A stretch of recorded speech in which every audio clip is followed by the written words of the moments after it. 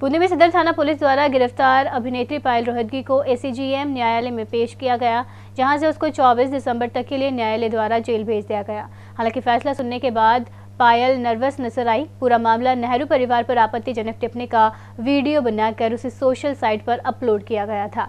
इस पर युवा कांग्रेस के प्रदेश सचिव चरमेश शर्मा द्वारा सदर थाने में आईटी एक्ट सहित मानहानि के मामले में एफआईआर दर्ज करवाई गई थी।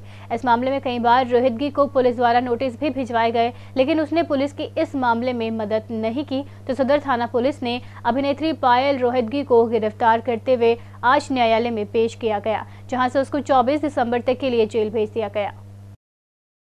के मामले में आज जो जमानत प्रार्थना पत्र पायल के एडवोकेट के द्वारा पेश किया गया उसमें मुख्य आधार ये रहा कि जवाहरलाल नेहरू के जो पीए थे, उनकी तरफ़ से एक किताब लिखी गई थी। उस किताब के अंश को ही मुलजिमा पायल रोहतांगी ने फेसबुक पर डाउनलोड किया है। उसका कोई व्यक्तिगत कोई कारण नहीं था, खुद का पर्सनल लिखने का भी।